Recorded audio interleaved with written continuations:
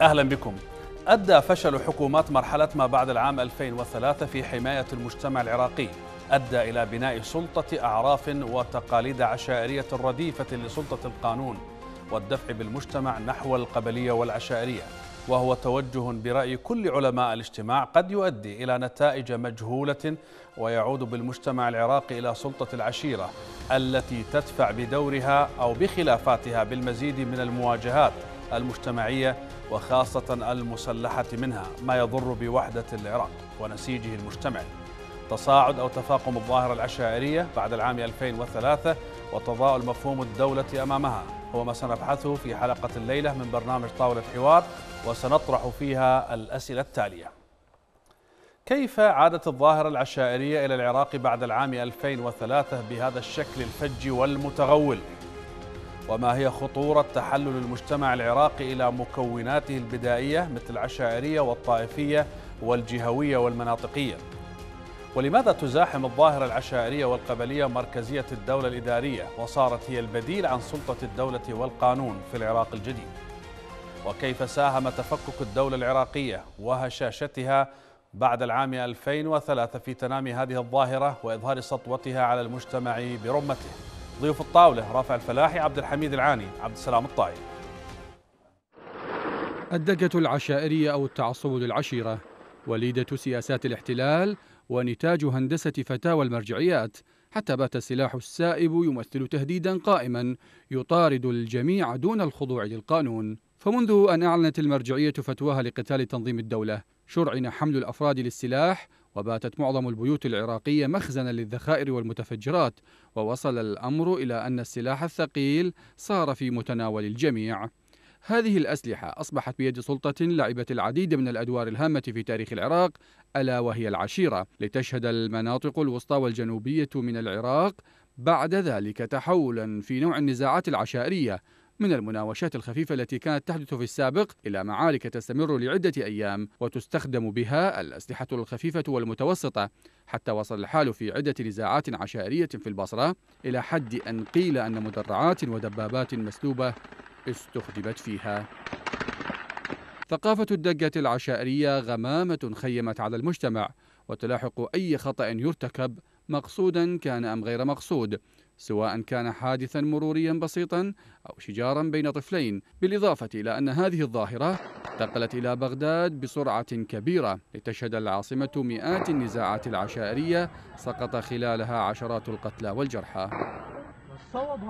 كما أن السلطة العشائرية أصبحت تدخل لحل بعض النزاعات السياسية حيث للعشيرة اليد الطولة التي تقبل على مقاضاة مسؤول صغير كعضو في مجلس بلدي أو حتى كبير كنائب أو وزير. ومع ضعف مؤسسات الدولة وتفشي الفساد وبسبب فقرات تضمنها الدستور أعادت للعشائر قوانينها وهيمنتها على المجتمع. ظهرت شرائح اجتماعية متطفلة تسمى بشيوخ المشاكل وهم الذين يعملون كوسطاء لحل النزاعات على مبدأ الارتزاق باسم العشيرة.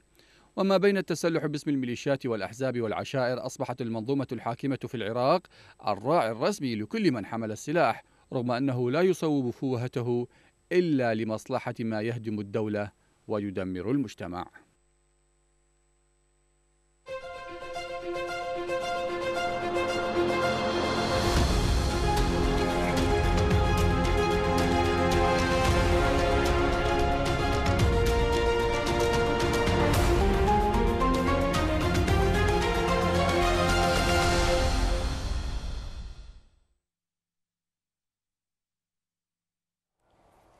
أهلا بكم مشاهدينا الكرام في هذه الحلقة التي ستبحث في تفاقم الظاهرة العشائرية في العراق بعد العام 2003 سيكون معنا هنا في الاستوديو الدكتور رافع الفلاحي الكاتب والباحث السياسي ودكتور عبد الحميد العاني مسؤول قسم الإعلام في هيئة علماء المسلمين. سيكون معنا من العاصمة السويدية ستوكهولم أستاذ علم الاجتماع الدكتور عبد السلام الطائي عبر سكايب. مرحبا بالضيوف الكرام جميعا. حياكم الله. نبدأ مع دكتور رافع الفلاحي. دكتور الظاهرة العشائرية عادت إلى العراق أو كيف يمكن أن يقال عادت إلى العراق؟ والمجتمع العراقي هو مجتمع عشائري بتركيبته وبنيته آه، المجتمعية. هو في النهاية عشائري وقبلي. كيف يمكن الحديث عن عودة العشائرية إلى هذا إلى العراق؟ بسم الله الرحمن الرحيم. أستاذ ماجد يعني يعني حتى لو تحدثنا عن قيام أي دولة في في العالم سنجد حتى تحدثنا عن قيام مثلا الدول الأوروبية اللي موجودة. حتى بالعصور الوسطى كان هناك صراع حول السلطة. بين الكنيسة يعني حتى في أوروبا المسيحية بين الكنيسة و آه، والملاكين ملاكي الأراضي طبقة النبلاء. طبقة النبلاء وسلطة الملك وسلطة الدولة. نعم. كان هناك دائما صراع. والسلطة التي التي يعني تهيمن على الجميع هي بالتالي سلطة الدولة التي تستطيع القوية التي تستطيع أن تهيمن على الجميع وتتحكم بالجميع وتفرض هيبتها نعم. وقوانينها. وهذا ينطبق أيضا على كل دول الدنيا ومن ضمنها العراق. العراق نعم مجتمع عشائري فيه عشائر. يعني إذا تحدثنا عن العراق الحديث دولة تأسيس الدولة العراقية الحديثة عام 1921 فما فما بعد. دولة أسست نعم هناك عشائر هناك قبائل لكن وأيضا كان هناك صراع بين سلطة دولة فتية قائمة وبين سلطة ملاك سلطة عشائر سلطة دينية سلطات كثيرة كانت تريد أن تفرض نفسها تفرض وجودها وتفرض هيمنتها على الجميع. وبالتالي الدولة استطاعت بقوتها بقوانينها بقراراتها بحداث بحداثتها بقدرتها على تطوير نفسها وتطوير ذاتها وقيامها بمهام ووظائف كثيرة للمواطنين أن تجعل المواطنين أن تجعل الشعب ينساق باتجاه الاستماع إليها استماع إلى قوانينها الالتزام بقوانينها وإحكام الجميع لهذه القوانين سطوة هذه القوانين كمظلة واحدة شرعية للجميع. عانى العراق من هذه القضية الحقيقة. وربما استمرت كثيرا لغاية عام 58 عندما صدر قانون يعني آه، قوانين أوقفت آه، آه، قانون 80 وغيرها أوقفت النزعة العشائرية حددت من النزعة العشائرية كان هناك رؤية وهي رؤية صحيحة أن هناك دولة يجب أن تقوم ومؤسسات يجب أن تقوم وكل المواطنين سواسية تحت سلطة هذه الدولة والقوانين الموضوعة. ما يخرج عنها سيكون شاذا سيكون سلطة أخرى عندما تصارع سلطتين عندما تكون القرارات بيد أكثر من سلطة تضيع الهيبة. واستمر الحال وصولا يعني إلى عام 2003 هناك فترات ارتخاء وهناك فترات قوة للدولة لكن بالتأكيد وصلنا إلى عام 2003 تشظي الدولة انهيار الدولة أدى إلى أن يذهب الناس إلى التجمعات الصغيرة إلى الرايات الصغيرة. مثلما كنا نتحدث سابقا عن أن الهوية الجامعة كانت هي الأساس عندما انهارت الدولة آه، استهدفت الهوية الجامعة فذهب الناس إلى إلى هويات فرعية. في حالة غياب الدولة البعض لاذ للحماية للبحث عن الحماية البحث عن مظلة تؤويهم في ظل نعم. فوضى أمنية آه، عدم رؤية رؤية عقلية يعني عدم عدم وجود قرار ماذا سيكون عليه سنتحدث دكتور لماذا ذهبوا إلى العشائر إلى العشائر أو إلى التكوينات البدائية للمجتمع نعم. طبعا بسرعة بعد هزة الاحتلال نعم. يعني السؤال إنه من عام 21 مع هذا البناء من قبل الدولة لبناء مجتمع مدني حديث يعني ينزع نحو المدنية والتحضر بعيدا عن عن قضية العشائرية. يعني من 21 إلى 2003 هل تعتقد إنه ثمة فشل في هذا البناء في بناء مجتمع آه، بصبغة المدينة أكثر مما صبغة العشائرية أو الريف أو الأطراف؟ هو بالتأكيد أطراف المدن. بالتأكيد نعم. أستاذ ماجد. أنت عندما تقيم سلطة جديدة لابد من مقاومة م. لهذه السلطة يعني مثلما الدولة الإسلامية قامت نعم بدأت الدولة الأموية تحدث نعم. عن بداية الدولة الأموية أيضا عشائر وقبائل و ومجتمع يعني كان آه، غارق في في في البعد عن عن التحضر نعم. والمدنية وال لكن استطاعت هذه الدولة بمرور الأيام بعقيدة معينة بالفكر الإسلامي بعقيدة الإسلام. ان تلم الناس باتجاه قوانين معينة ضمن إطار واحد. نعم. آه، أساس لها مظلة كبيرة للجميع. استطاعت أن تلم الناس وتقلل هذه الفوارق وتقلل هذه النزعات العشائرية والقبلية. في في مجتمع العراق نفس القضية، هناك دولة لكن تبقى المقاومة قائمة. يعني مثلما كانت الدولة الأموية، الدولة العباسية، دوله دولة الخلافة كانت تواجه ب بجماعات تحاول تحاول المساس بهذه الهيبة، تحاول المساس بهذا العرف، بهذا بهذه القوانين، أيضا نفس الشيء، في الدولة العراقية أيضا ظلت هذه النزعة قائمة عند العشائر، عند سلطات دينية، عند سلطات أخرى، قائمة بالممانعة، لكنها لا تستطيع مع قوة الدولة، عندما تكون الدولة قوية وسطوتها قوية وقدرتها واذرعها قوية، لا تستطيع هذه هذه وموفرة للمواطنين كل شيء. كما هو الحال في معظم دول المنطقة أيضا تركيبه عشائريه وقبلية. هذه هذه لكن يغطي عليها قوة الدولة وتماسكها. عندما تذهب هذه تبدا يعني تنحل هذه تبدأ هذه بالارتفاع وتبدأ بالتغول سنتحدث أيضا كيف كيف تصاعدت الظاهره العشائرية أمام اضمحلال آه، الدولة. دكتور عبد الحميد العاني يعني ما العيب أن يكون المجتمع العراقي كما المجتمعات العربية مجتمعا عشائريا قبليا فيه ضوابط أيضا العشائرية وقواعد ومحددات ويعني أعراف. لماذا كل هذا الخوف هذا الاستنفار كلما أتى الحديث عن التكوين العشائري والقبلي للمجتمع العراقي؟ يعني أين الخوف؟ الحقيقة بسم الله الرحمن الرحيم بداية. يعني استعرض الدكتور قبل قليل الجانب التاريخي لوجود العشائر في العراق. وأظن غطى على جانب كبير من هذا الأمر. ولذا بين أن هنا العلاقة بين هذه الرايات الجزئية وبما فيها العشائر وعلاقتها مع السلطة مع الدولة مع الحكومة هي دور مساند. التركيبة تركيبة هرمية. نعم. يعني الأفراد يتكون منهم مجتمعات صغيرة كعشائر وغيرها وبعد ذلك تتكون الدولة من عدة جوانب من مدن ومن مؤسسات ومن عشائر ونحوها. الخشية ليس من العشيرة بحد ذاتها كوجود؟ ولا أيضا كدور لها في في المجتمع. ومنه المجتمع العراقي. بل بالعكس خلال التاريخ الماضي ومنه ما ذكر الدكتور قبل قليل نعم. كان هنالك دور إيجابي كبير لهذه العشائر. ولا سيما إذا نذهب إلى الماضي أو يعني التاريخي في بداية الدولة أو قبيل تأسيس الدولة. كان لهم دور كبير في مواجهة الاحتلال في المقاومة. نعم. ثورة العشرين, ثورة العشرين نعم. ومن كان من الذي تصدى؟ من الذي كان يقف آه، ضد هذا الاحتلال؟ وما تلاه لولا العشائر وحتى في بداية الاحتلال الأمريكي كان هنالك دور إيجابي كبير أيضا للعشائر في أولا في مناصرة ليس الكل طبعا نتحدث نعم. وإنما في من يعني قسم كبير منهم كان لهم دور إيجابي كبير في مناصرة المقاومة واحتضانها ولهم دور في هذا المسار كذلك أيضا في المدى القريب كان هنالك لدينا ساحات التظاهر والاعتصام م. في عدة محافظات عراقية كان لهذه العشائر أيضا دور إيجابي وكبير في حماية هذه الساحات لكن كأي مجتمع كأي جانب هنالك الإيجابي والسلبي نعم. مقابل هؤلاء كان هنالك بعض الرموز أو بعض العشائر أو بعض الشخصيات التي مثلت الجانب الإيجابي إذا أين الخشية؟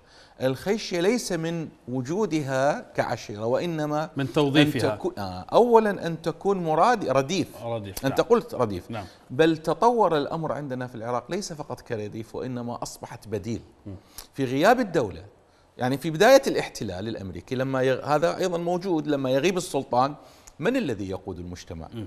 إما العشائر كشيوخ لما لهم رمزية ولما لهم سلطة على أتباعها أو أبناء العشيرة وكذلك آه، علماء الدين لما لهم من تأثير إيجابي على أتباعهم وكذلك ربما المثقفون أو الرموز الوطنية وغيرها.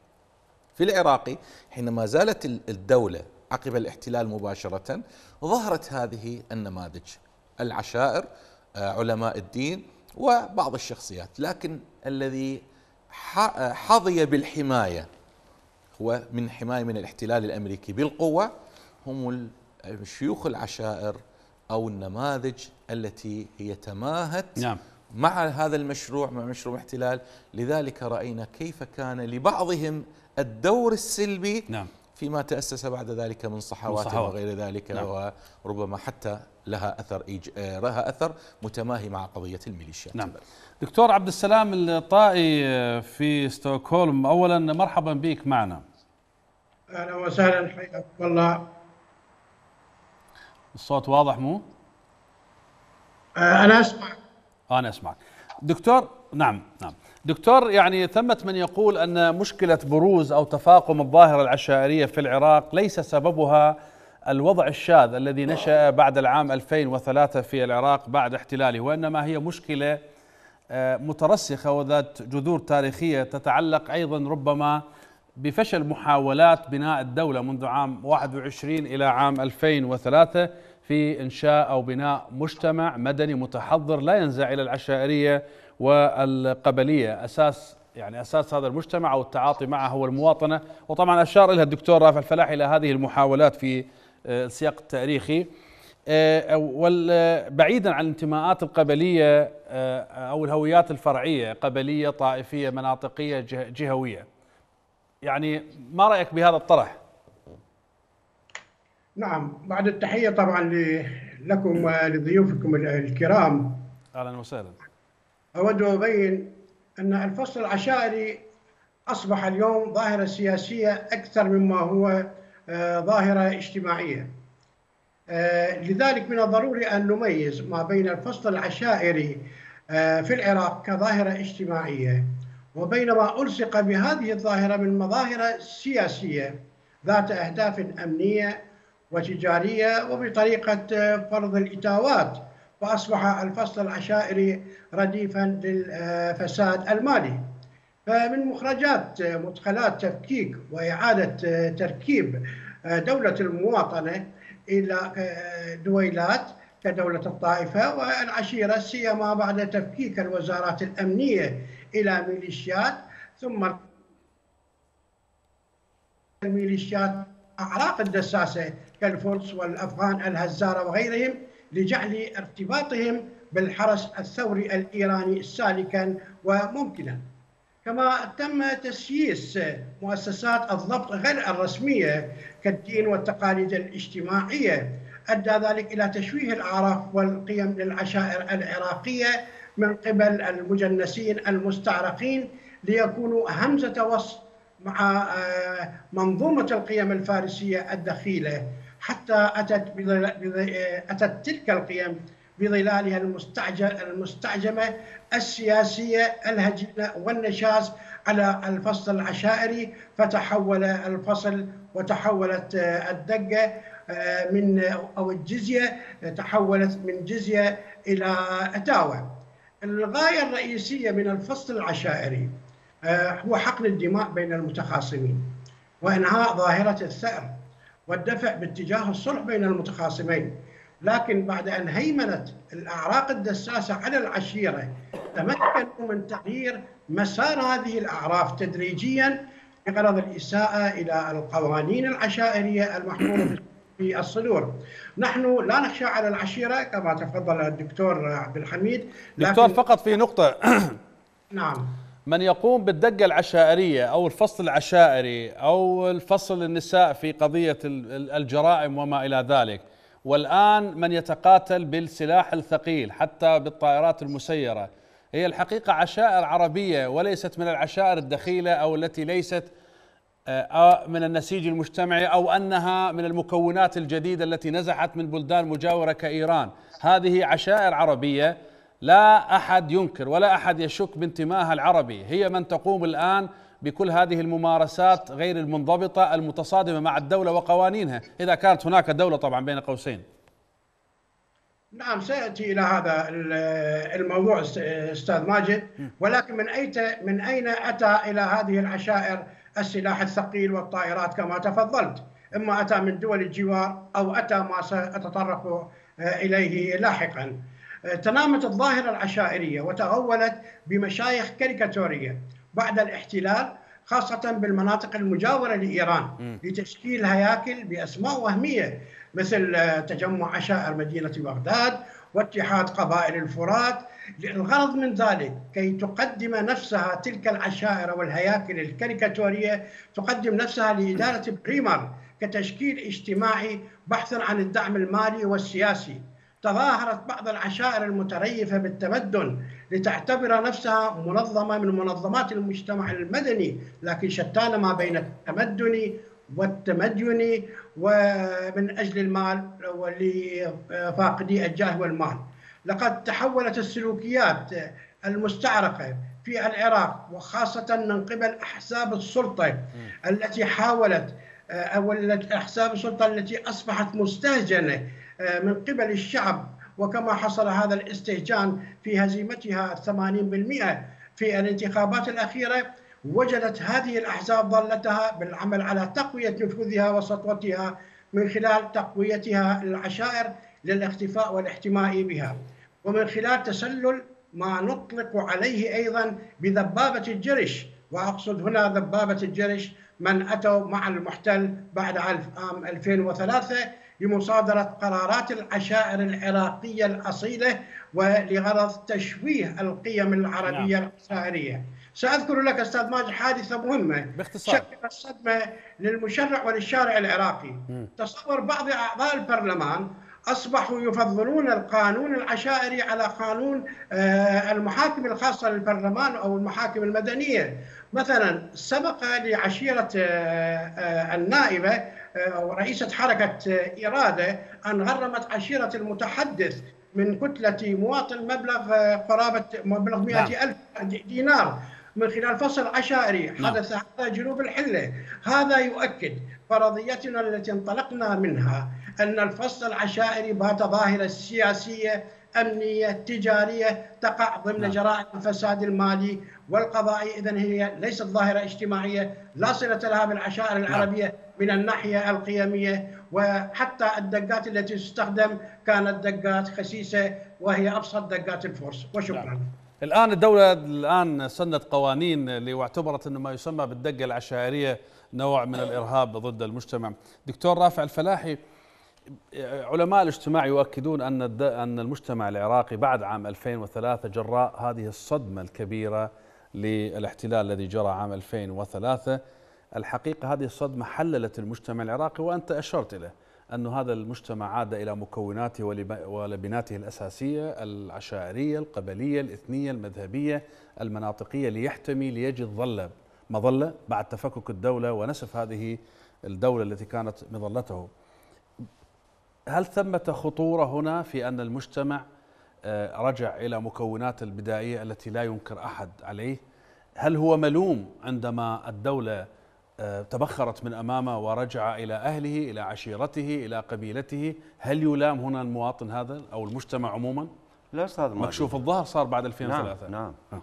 هو المواطن غير ملام في هذه القضية. عندما يعود إلى ما يحميه إلى المظلة يذهب إلى المظلة التي يعتقد أنها تحميه في ظل ظرف شاذ غير طبيعي آه، يمكن أن يتعرض به إلى مخاطر كبيرة فيذهب بهذا الاتجاه. لكن يعني دعني أقول أولا أن العشيرة مهما كبرت فهي صغيرة أمام يعني الدولة العشيرة الكبيرة اللي هي الدولة. نعم. مهما كبرت العشيرة مهما كبرت القبيلة فهي صغيرة أمام القبيلة أو العشيرة الكبيرة التي هي الدولة. ليس اعتراضنا على العشيرة والقبيلة كنا من عشائر وقبائل. فيها قوانين فيها أعراف فيها فيها حياة اجتماعية جميلة ومن أجمل ما يمكن.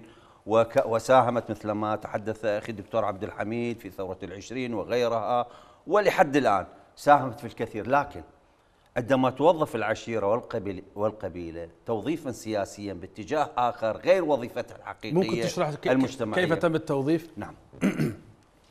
في مجتمع بعد عام 2003 آه، منفلت من كل شيء فوضى عارمة ذهبت الناس إلى العشائر. الكتل أو القوى السياسية التي جاءت إلى العراق لم يعني جاءت بدون قوى بدون مظلة تحميها سوى سوى الاحتلال. وقالوها نحن جئنا بدون جمهور واتكئنا على على الطائفية. نعم. مثل ما اتكأوا على الطائفية. أيضا وجد هؤلاء هذه مجموعة هذه الشريحة من السياسيين الذين يعتبرون نفسهم سياسيين وهم بعيدين حتى عن السياسة.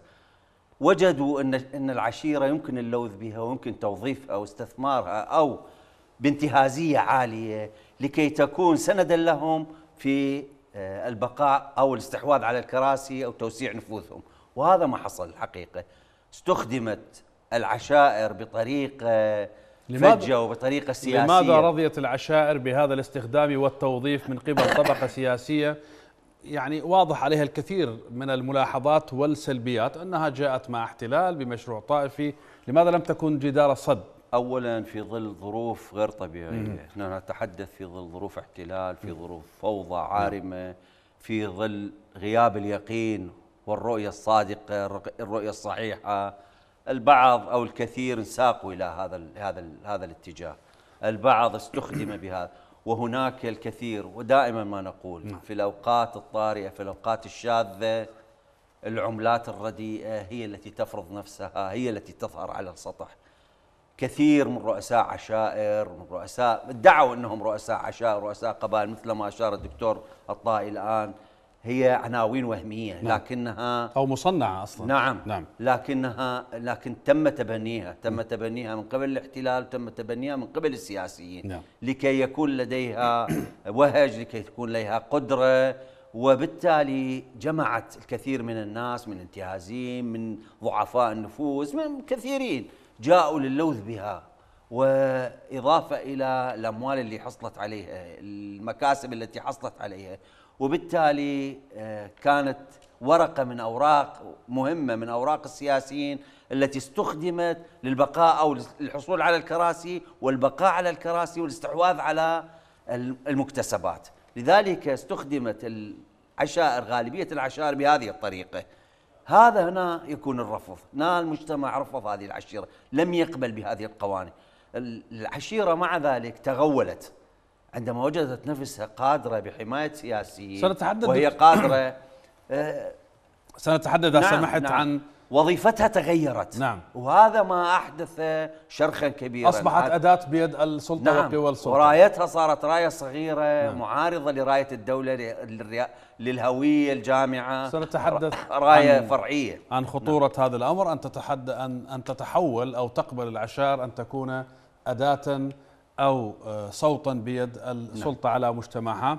آه، لكن بعد فاصل قصير نتوقف مشاهدينا الكرام عند هذا الفاصل القصير ثم نعود لإكمال النقاش مع ضيوفنا هنا في مسألة تفاقم الظاهرة العشائرية في العراق. ابقوا معنا.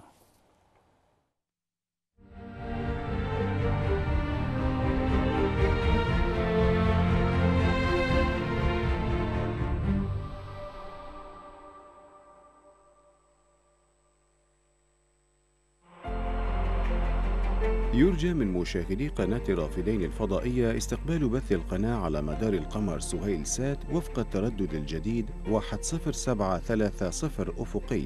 إضافة إلى التردد الحالي على القمر نايل سات 12380 أفقي.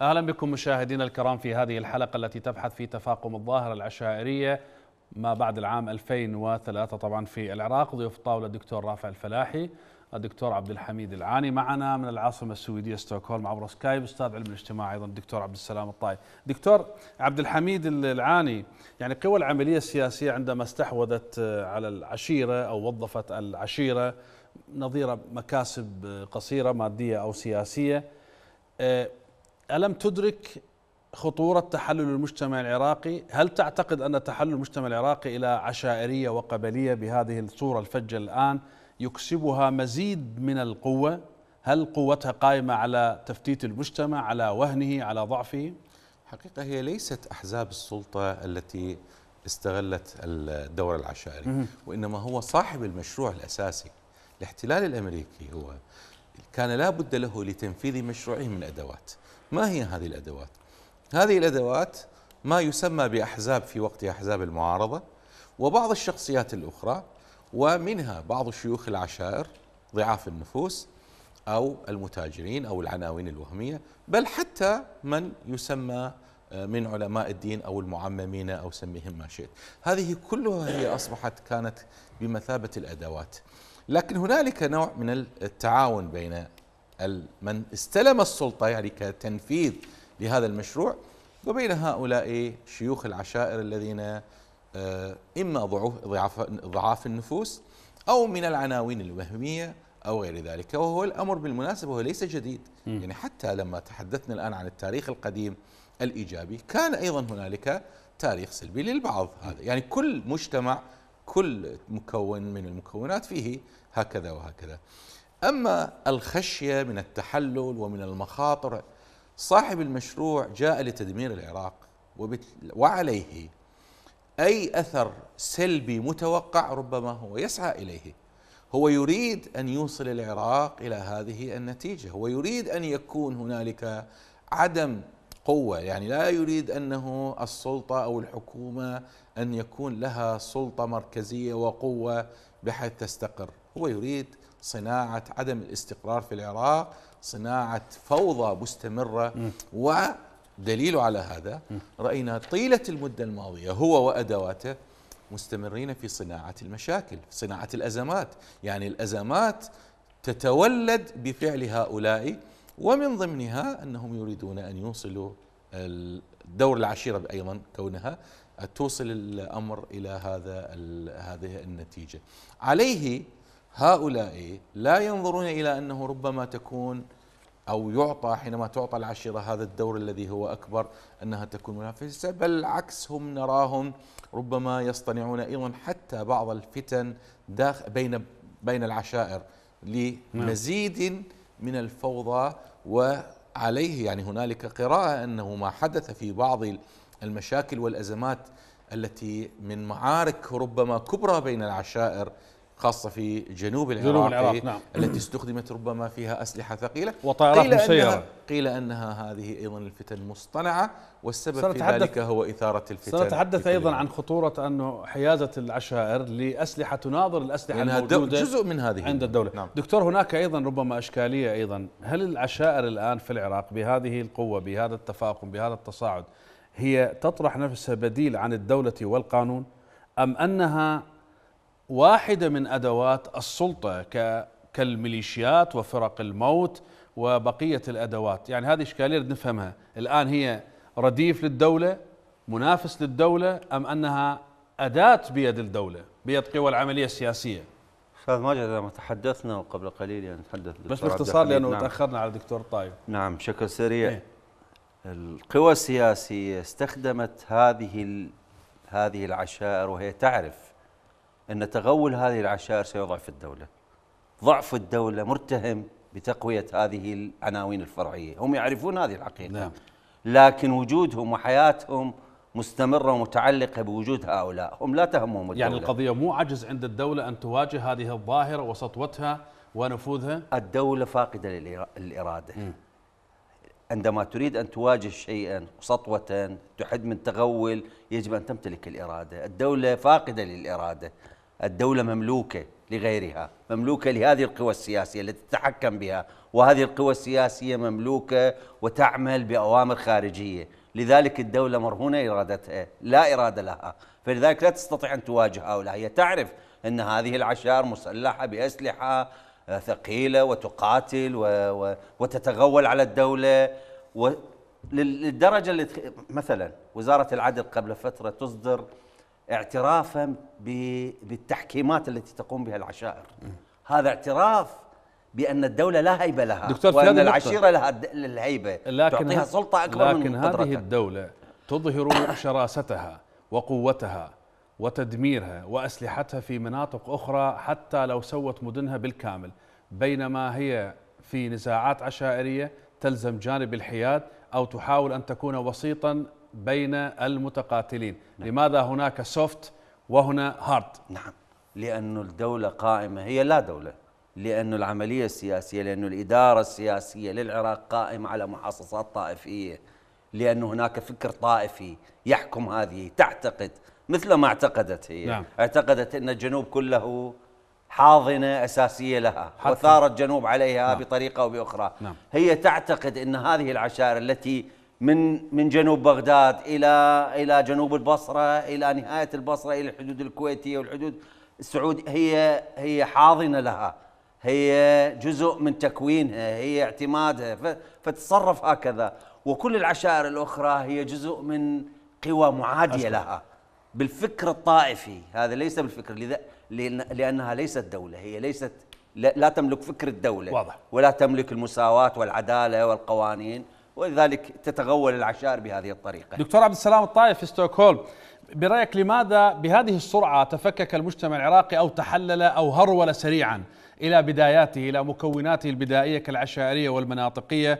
العشائرية الآن التي يعني نناقشها الآن في هذه الحلقة. ألهذه الدرجة كان المجتمع العراقي هشا وواهنا بحيث صدمة الاحتلال فككته وحللته سريعا فعلا لم يكن محصنا بدرجة كافية؟ لا عفوا. أنا اللي أعتقد أنه ليس المجتمع العراقي هو من هرول إلى هذا التفتيت والتفكيك وإنما هنالك عملية تسريع متعمدة وقصدية كانت من قبل الحكومة والجهات الداعمة لها. ولذلك التفكيك لم يكن تفكيكا مجتمعيا وإنما كان تفكيكا فوقيا أي لم يكن أفقيا بين أفراد المجتمع العراقي كجماعات كديانات كطوائف كقوميات. وإنما تم تفكيكها من قبل الجهات الأعلى وكما هو مسن بالدستور تم تفكيك وحل الوزارات الرئيسية للحفاظ على الأمن الاجتماعي للحفاظ على الأمن المواطن تم تشويه صورة التقاليد الاجتماعية تم تفتيت الهوية الثقافية للمواطن تم تدمير الآثار تم قتل الإنسان على الأسماء وعلى الهوية. فالمجتمع العراقي مجتمع متماسك لكن الجهة المتحكمة والحاكمة فيه آه، هي التي تحاول أن تساهم في تسريع تفكيك المجتمع. فعندما يكون الجلاد هو هو القاضي في حين ذلك تسود معايير الجلاد على القانون وعلى المجتمع. آه، أهم ما في موضوع الفصل العشائري والدقة العشائرية. الفصل العشائري هو آه، عملية التصالح بين خصمين للقضاء على الثار اللي نلاحظه إنه الحكومة والأحزاب والميليشيات كلها تدعو علنا وعلى الفضائيات تدعو إلى الثأر وإلى الانتقام. وحتى الفتاوى مدعومة من فتاوى والفتاوى مرجعياتها معروفة كلنا كلنا نعلم.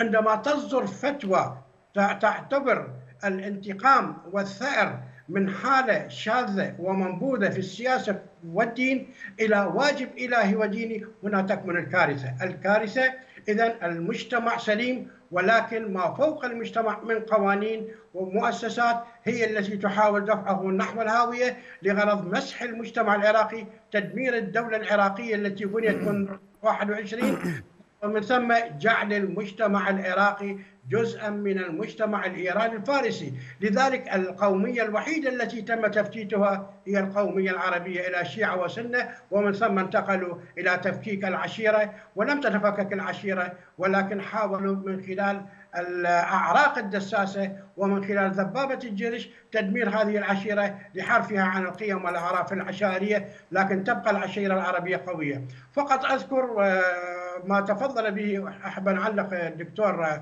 رافع الفلاحي أنه نعم الفصل العشائري والتفكك والانهيار وصل إلى البصرة المتحدث الرسمي باسم وزارة الداخلية نعم. سعد معا أعلن صراحة أن البصرة منطقة خطيرة تستخدم فيها الأسلحة الثقيلة البصرة جوار من؟ من هي الجهات المهيمنة والمسيطرة على البصرة وعلى المدن نعم. الأخرى فإذا هنالك دولة أخرى خفية عميقة داخل الميليشيات داخل الأحزاب مدعومة بمرجعية هدفها مسح الدولة. على ذكر أشكرك على ذكر الميليشيات دكتور عبد الحميد العاني. يعني هذا انتشار السلاح الموجود الآن في العراق خاصة بيد الميليشيات. الموجودة الآن بيد الميليشيات وخاصة طبعا ميليشيا الحشد التي لديها آه، سلاح يفوق حتى سلاح الجيش والأجهزة الأمنية دبابات وغير الدبابات. هل كانت له مساهمة في تغول هذه العشائر في تعاظم سلطتها في بسط هيمنتها وسلطتها؟ بل وإخافة حتى الدولة التقليدية بمؤسسات التقليدية جيش وشرطة هؤلاء يخافون آه، من انتقام الميليشيات أو المنتمين إلى الميليشيات من عشائر حتى لما تكون قضية عشائرية. هذه الأجهزة التقليدية لا تستطيع أن تتصدى أو أن توقف هؤلاء. يعني يعني هذا جزء من التغول تغول في جانبين جانب للعشائر وتغول أيضا للميليشيات. وهنا رأينا أن العلاقة عجيبة في هذا الأمر حيث أنه بعض هذه العشائر أصبحت لها ميليشيات خاصة أو عفوا حتى الميليشيات الحشد باتت بعض عناوينها هي عناوين عشائرية. ورأينا أنه كيف أن هذه الخلافات باتت مثل هذه العشائر هي مظلة. مظلة لحماية هذه الجهة أو تلك. أصبحت بعض هذه العشائر مظلة لحماية الظالم لحماية الفاسد. حتى أن بعض هذه الميليشيات التي ربما يحدث خلاف بينها أو بعض أفرادها من الذي يحميه؟ يستند أو يحتمي بالمظلة الأخرى وهي مظلة العشيرة. أصبح إذا هنا انفلات وهذا هو المقصود انفلات أمني. وهذا أحد أهداف كما قلنا الاحتلال. يريد تفكيك المجتمع العراقي وتفتيت كل بنيته. وربما حتى من مؤديات هذا الانفلات وهذا التغول ورفع هذه الجوانب أو إبراز هذه الجوانب السلبية في في العشائر. حتى يكون على حساب الجوانب الإيجابية للعشيرة. النخوة والكرم والمناصرة والكذا.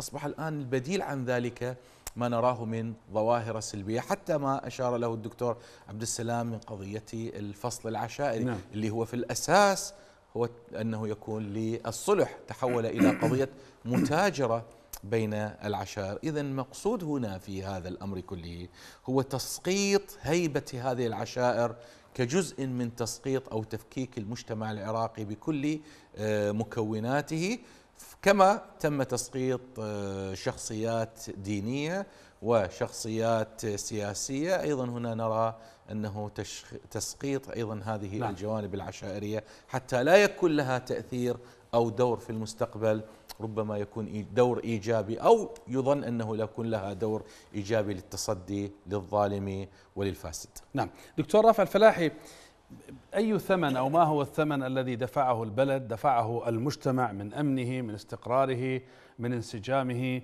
عندما آه، تخلت الدولة بين قوسين عن دورها التقليدي في حماية المجتمع، في حماية الدولة واضمحلت وتضاءلت أمام هذا الزحف الكبير للعشائرية وسطوتها وسلاحها آه، الآتي من من الميليشيات. أي ثمن دفع؟ نعم. عندما سألتني قبل قليل أستاذ ماجد وقلت هل المواطن ملام في أن يذهب إلى العشيرة نعم. يذهب إلى هذه المكونات ليحمي نفسه وأنا اجبت قلت, نعم. قلت لك أن يعني من حق المواطن أن يذهب، حقيقة هذا هذا الجانب الإيجابي لكن الجانب السلبي اللي تتعلق بالأساس بالدولة عندما لا تقوم الدولة بأداء وظائفها نعم. تذهب هذه الوظائف مباشرة إلى العناوين الفرعية. ذهبت الوظائف إلى العشيرة نتحدث عن العشيرة جزء من هذه العناوين الفرعية للعشيره في بلد فيه قتل فيه سرقة فيه فساد فيه رشوة. سطو مسلح. سطو مسلح في وضح النهار. اغتصاب نعم. قضايا قضايا شرف انتهاك الاعراض فيه كل هذه القضايا. آه، فيه حالات اصطدام بالشوارع حالات آه، دهس هذه كلها مو كلها هذه موجودة. نعم. المواطن البسيط إن لم يكن هناك قانون ودولة تحميه سيذهب إلى هذه هذه العشائر هذه المكونات. وهذا ما حاصل. نعم. حاليا حاليا الآن إحصائيات تتحدث أنه 40 جلسة للمصالحة بين العشائر أو هذا ما تسميها الجلسات هذه 40 جلسة يوميا تعقد في بغداد فقط. لقضايا مثل هذه قضايا زنا قضايا قتل قضايا سرقة فساد. طبيب طبيب أجرى نعم. عملية لمريض وتوفي وتوفي المريض. نعم نعم. بالتالي العشيرة صارت قوى متغولة قادرة أن تستحوذ على هذه وتأخذ من وراءها أجور. هناك عصابات معينة شكلت عناوين عشائرية. الناس تلجأ لها لأخذ حقوق. أو نعم بديلا نعم. عن القضاء. هذه الحقيقة. عندما يغيب القضاء عندما يغيب القانون تتغول هذه هذه القوى. سأعطيك مثالا بسيطا لإضمحلال هذه الدولة للا دولة في العراق. وزير الدفاع السابق العبيدي عندما استدعي للبرلمان في السنة الماضية وبدأوا يعني يسألونه عن قضايا فساد. في جلسة استجواب. في جلسة استجواب. بدأت الملاسنات بينه وبين رئيس مجلس النواب. وهذا من عشيرة العبيد وهذا من عشيرة الجبور خالد العبيدي طبعا. نعم خالد العبيدي نعم. والجبوري نعم نعم. سليم الجبوري بعد يومين من هذه السجالات التي بينهم ظهر رئيس عشيرة الجبور نعم. ورئيس وظهر رئيس عشيرة العبيد أحدهما يهدد الآخر. نعم. إذا نحن في أعلى سلطة تشريعية في الدولة يذهب يذهب ال- الخصوم إلى الذهاب التكون على العشائر. نعم. لكي تتحدث العشائر باسمهم والكل يدعي أنه هذا هذا المنسوب. إذا هناك العشيرة صارت وظيفتها حماية حتى الفاسدين. حماية حتى الخراب التجاوز على الدولة. فبالتالي وظيفة أنا هذا هذا اللي أقصده. وظيفة ال- وظيفة العشيرة تغولت بغياب وظيفة الدولة. الدولة هي المسؤولة دكتور أساسا عن كل هذا الغياب. فاسدين المؤسسة التشريعية تحمي فاسدين القضائية تحمي فاسدين العشائرية تحمي فاسدين المؤسسة الدينية تحمي فاسدين. الفاسدون محميون. نعم. فالآن يقتل ويزني ويسرق وينهب وكل شيء يفعله ويذهب إلى ما أعرف عنوان يقول أشكر. أنه عشيرة يلتجئ إليها فتحميه. هذه كارثة. والدولة غير قادرة أن تفعل شيئا. الوقت طيب. إذا لا دولة. دكتور عبد السلام الطائي إذا هذه الصورة ال- ال- الآن التي رسمها دكتور رافع الفلاحي عن الو- الوضع في العراق أين يمضي الوضع في العراق؟ آه، هل نحن الآن في حقبة ما قبل الدولة الحقيقة الحديثة؟ نحن الآن في حقبة الحقبة العشائرية القبلية ال- آه، ال- الأقوام المتنافرة أو المتناحرة؟ آه، نعم. ما ما يجري في العراق يذكرنا بما حدث آه، قبل اندلاع الثورة الفرنسية قبل أكثر من آه، قبل مئات آه، السنين. آه، قبل الثورة الفرنسية الكنيسة طغت والحكومة استبدت ولما ثار الشعب الفرنسي عدة مرات استمرت ثورة الشعب الفرنسي وتظاهراته عشر سنوات حتى تتك... حتى تكللت جهود المتظاهرين وال... والذين قاوموا رجال الدين وقاوموا الحكومة آه، تكللت جهودهم بالنجاح واندلاع الثورة الفرنسية. ما يجري الآن في العراق هو نفس الشيء يعني سلطة سلطة لاهوتية فيها القانون الخاص اللي هو آه، فتاوى المرجعية وفيها القضاء العشائري يفوق فوق فوق القانون.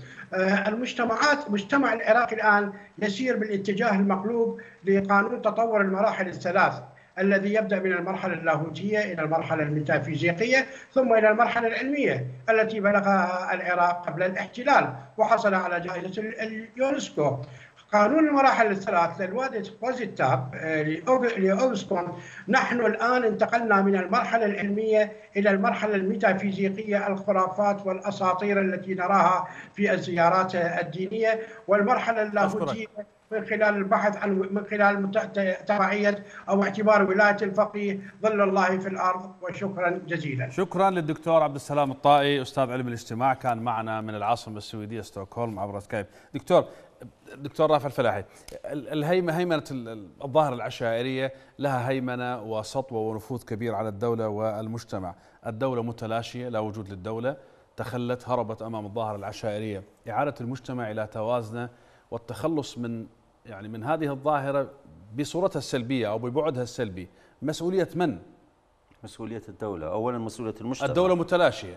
مضمحلة مسؤولية الشعب أن يقيم كسيحة. دولة نعم. أن يزيل كل هذا الإطار الذي أدى إلى هذا الخراب ويقيم إطارا جديدا آه، رصينا يضع قوانين يضع أسس يضع ضوابط ضوابط أخلاقية وضوابط قانونية ضوابط دينية لا يمكن التجاوز عليها لديه سلطة قوية قادر أن يحقق العدالة للجميع ينظر إلى الجميع بعين واحدة لا ينظر إلى سين وشين تبعا لانتماءاتهم المذهبية يدمر هنا ويغض البصر هنا لا. قانون واحد يطبق على الجميع الرؤوس متساوية. أشكرك. هذا هذا هذا هذا المطلوب. وهذه مهمة الشعب لإقامة هذه الدولة لإقامة ل- لتوكيل جزء من من الشعب لإقامة هذه الدولة دولة العدالة. هذه هذه الحقيقة. نحن في دولة دكتور لا عدالة بنصف دقيقة. فيها. هل هذه المسؤولية أيضا ملقاة على علماء الدين؟ هل لهم مسؤولية أم, أم جزء من من النسيج العشائري أو الظاهر العشائري هم لا لا مسؤولية تكاملية. آه. الشعب بما فيه بكل مكوناته لأنه لا بد من البحث عن السبب وإزالة هذا السبب. السبب الذي أدى إلى كل هذه المشاكل فلا بد من البحث عن البديل لهذا السبب من جذوره حتى تتحقق المصالح الحقيقية للناس جميعا. يسترد حقوق الناس يكون هنالك مساواة يكون هنالك عدالة يكون هنالك قانون يمشي على الجميع. ولذلك مسؤولية أصحاب علماء الدين المثقفون الشعب السياسيون الجميع السياسيون الحقيقيين وليس الأدعياء الذين سلطهم الاحتلال على الشعب العراقي. شكرا دكتور عبد الحميد العاني مسؤول قسم الإعلام في هيئة علماء المسلمين وشكرا دكتور رافع الفلاح الكاتب والباحث السياسي والشكر أيضا مرة ثانية للدكتور عبد السلام الطائي أستاذ علم الاجتماع وكان معنا عبر سكايب من العاصمة السويدية ستوكهولم شكرا للمشاهدين الكرام حتى نلتقي في الأسبوع القادم في أمان الله.